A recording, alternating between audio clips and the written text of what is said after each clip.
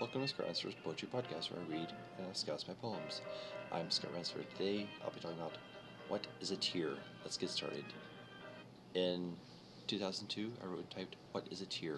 You can read along with me in the description. What is a tear? A tear is a sign of a broken heart. When it shatters and breaks apart, a heart is a pump for love. When it is broken, it shows above.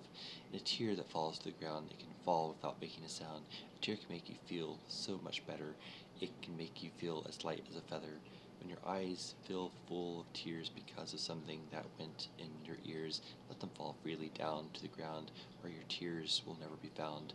When you are done bleeding your heart, it'll be harder to break it apart. What is a tear down? Amazon Collected Poems, Volume 2, 2002 through 2005. Kindle paperback and hardcover that brings us to the end of this episode. Hope What is here was beneficial to you. As always, thanks for listening to Scott Ransopher's Poetry Podcast.